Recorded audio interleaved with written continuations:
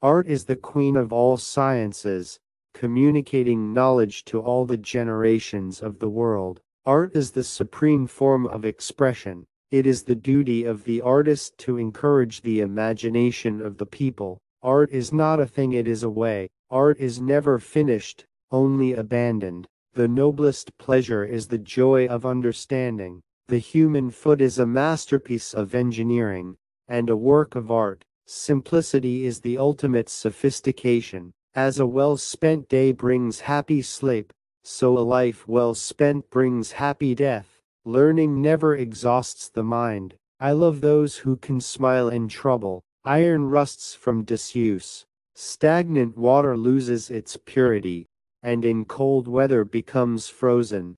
Even so does inaction sap, the vigor of the mind.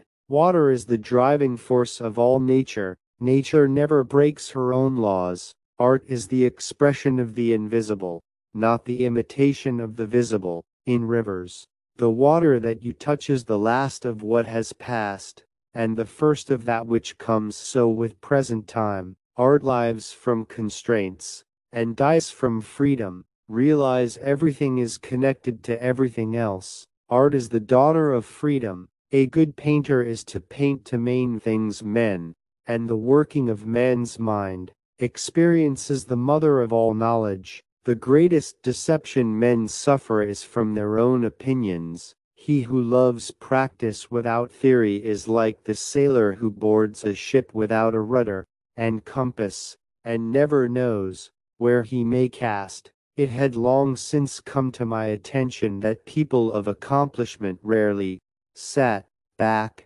and let things happen to them. They went out and happened to things. The noblest pleasure is the joy of understanding. Art is the queen of all sciences, communicating knowledge to all the generations of the world. The smallest feline is a masterpiece. Patience serves as a protection against wrongs, as clothes do against cold, for if you put on more clothes as the cold increases, it will have no power to hurt you.